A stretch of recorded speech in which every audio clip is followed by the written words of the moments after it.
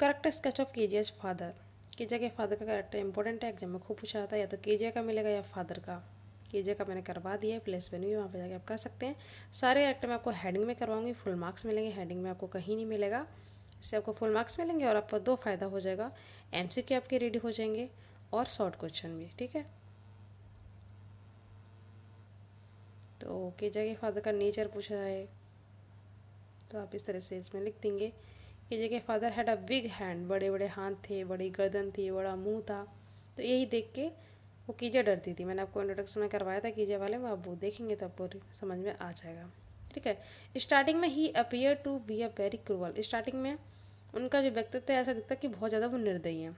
ठीक है? निर्दयी व्यक्ति हैं। सो कीजे डिड नॉट लाइक हर इसीलिए केजे इनको पसंद नहीं करती है। आप कीजे वाला कैरेक्टर करेंगे तो आपको समझ में आ जाएगा, मैंने करवाया था। तो आप इसमें ये लिख देना, फिर हर डेली रूटीन हिज मतलब उनका डेली रूटीन क्या था? तो आप लिखेंगे इसमें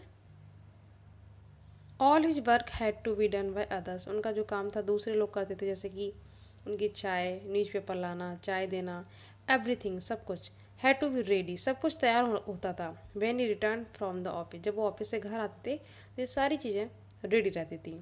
ठीक है, चाय हो गया पेपर इस तरीके से आप लिख देंगे। आपने चैप्टर पढ़ा होगा तो आपको पता भी होगा। हिज बिहेवियर व्यवहार कैसा था? बहुत ही स्ट्रिक्ट था, सख्त थे बहुत ही।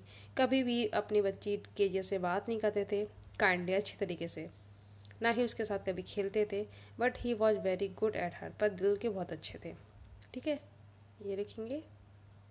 कंक्लूजन में आप लिख देंगे, एक दिन सी वॉज़ स्केयर्ड जो केजिया थी, बहुत रात में डर जाती क्योंकि उसको डरावना सपना आता है।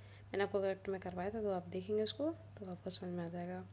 He took care of little girl तो इसके पिता ने जो अपनी बच्ची की केयर की केजिया की, इससे ये शो होता है कि he was very loving and caring father कि वो बहुत ही प्यार करने वाले और केयर करने वाले पिता थे। कौन? केजा के फादर ठीक है स्टार्टिंग में ऐसा लगता था कि वो क्रूअल है, क्योंकि बहुत ही स्ट्रिक्ट थे बट लास्ट में कीजे को रिलाइज हो जाता है। तो ऐसे आप लिख देंगे। आपको फुल मार्क्स मिल जाएँगे। ऐसे मैं आपको चैप्टर बाई चैप्टर सारे करवा दूँगी। तो कर लीजिएगा। Thank you so much